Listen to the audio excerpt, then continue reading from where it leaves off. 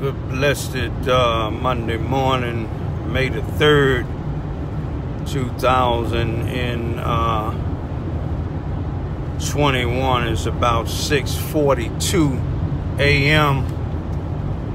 Just wanted to let everybody know me and my two youngest daughters, uh, we're about to enter uh, from out of Illinois, crossing the Illinois uh, Missouri bridge here. Uh, this is the Mississippi River that we're going past.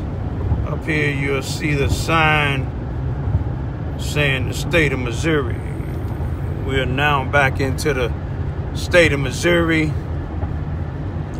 Uh, we thank everybody for the uh, hospitality. We thank everybody that's uh, been uh, on this mission with us. We thank everybody that been on this mission with us, uh, seeking justice for my son, Brian Lamont Johns. Uh, yeah, I know I need a shave, y'all. I know I need some rest. I know I need some sleep, but uh, had to come back to Missouri and take care of some business. Want to let uh, my uh, Moorish American brothers and my Muslim brothers and sisters and Moorish American brothers and sisters and Christian brothers and sisters and all those that's uh, willing to help us and ain't trying to charge us any money uh, help us get this justice. We want to thank y'all. Uh, I'm just I don't know. I'm just tired, y'all. But you know, like I said, uh, to me, it's a shame. You know, we.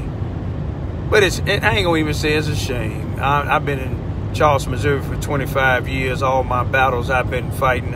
I never had any organizations or any preachers or anything that stood and fought my battles with me. I done been in the federal courts twice.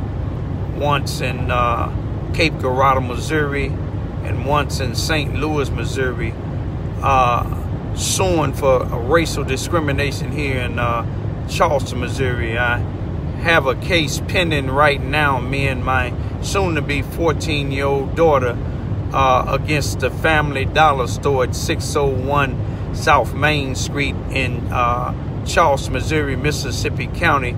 I think the store number is 9411, but we going up against the corporation uh, for uh, racial uh, discrimination, uh, retaliation, and uh, white female falsely accusing my then 13-year-old daughter of uh, of stealing. But you know, the NAACP ain't helped these organizations. If you've seen back in last year, uh, for July, they had a group of black people, uh, NAACP, some of the preachers and some of the other people in Charleston, Missouri said that they had a thing about a Lincoln school uh, at 700 uh, Elm Street or 700 Cy William uh, uh, Street.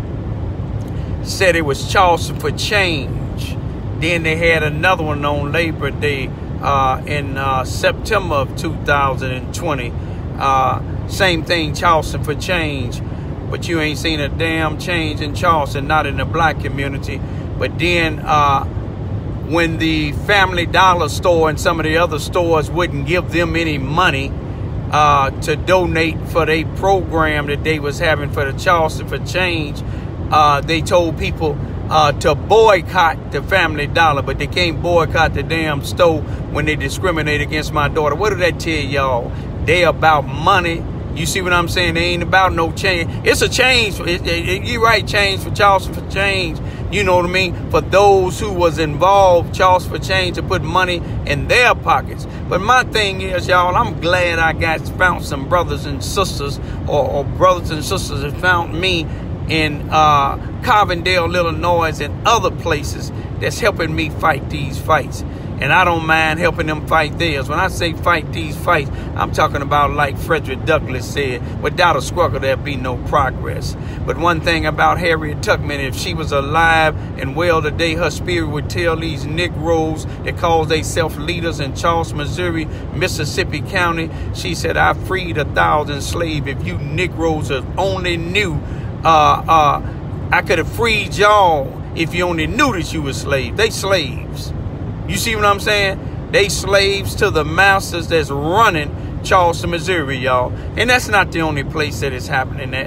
And the reason why I'm saying this here, because one thing I want people to know around the globe, if you come down to Charleston, Missouri, do not hook up with the NAACP. Do not hook up with none of these churches, black or white. Majority of them. Now, you may have one or two, but the majority of them that's hooked up with all these churches that's hooked up with Susanna Wesley Family Learning Center, all these churches that's hooked up with these black folks that call themselves NAACP in Charleston, Missouri, I encourage you not to hook up with them.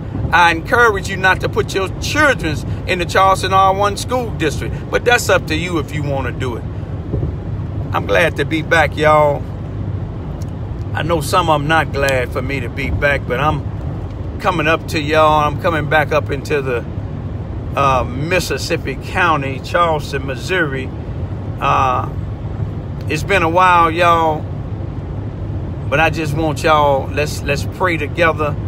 I'm talking about those of y'all that's not in mental slavery. Those of y'all that not selling out the black community. Some people think you're racist when you talk about sell out blacks. You ain't racist. Malcolm knew what he was saying when he was talking about the house Negro the house Negro, when the master is sick, the one who out here beating and raping our children, when the master is sick, the, the house Negro said, Master, we sick. You see what I'm saying? When the doctor come through the field and asked the how uh, field Negroes which way to the house because the master's sick, the, it was due east, but they tell him due west. And you know why. They want the master to go on ahead and meet his master. And some people don't like that. Oppressed people is tired. I'm tired. You see what I'm saying? I'm going to find out what happened to my son. You see what I'm saying? If I go to my dying uh, bed, I'm going to find out, y'all. Back here in Mississippi County, y'all.